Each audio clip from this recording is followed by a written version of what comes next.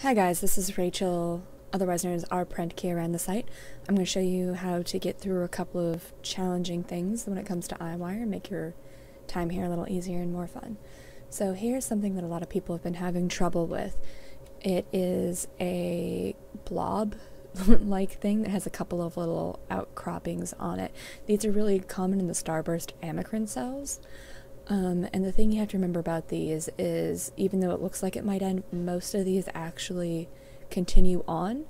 Uh, so they'll have two or three nubs that end and then one that continues on is the thing that you want to look for in here. And they also tend to have very kind of shadowy faint boundaries which make it a little bit more difficult. So let's start and show you how to do that. So we're starting right here with the plane, which is here, and let's scroll through and up. Okay, so it's getting very faint right here, and we see the point of this right here appearing in our 2D. And here they are converging. Okay, and so we're going to fill in this. Another thing you want to keep in mind is that the side of this, the outside, should look fairly smooth. And so if it's kind of jagged the way it looks now, that usually means there are a little bit of pieces missing. So we're going to fill this in so it looks better.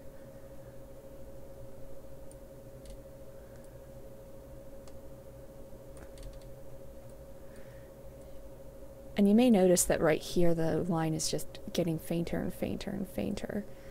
And so I'm going to fill that in right there. But um, something to keep in mind when the line gets faint is you can always pick up the thing. But if you look at it, you can see that even though the line right here is really faint, this is clearly something else that doesn't belong right here. It doesn't fit with the shape we were working on, and it seems to be kind of going in parallel with it. So that's a really good indicator that this is not something that we want.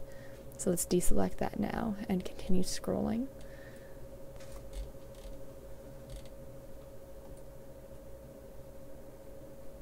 So now we're going to see which one of these two points continues on.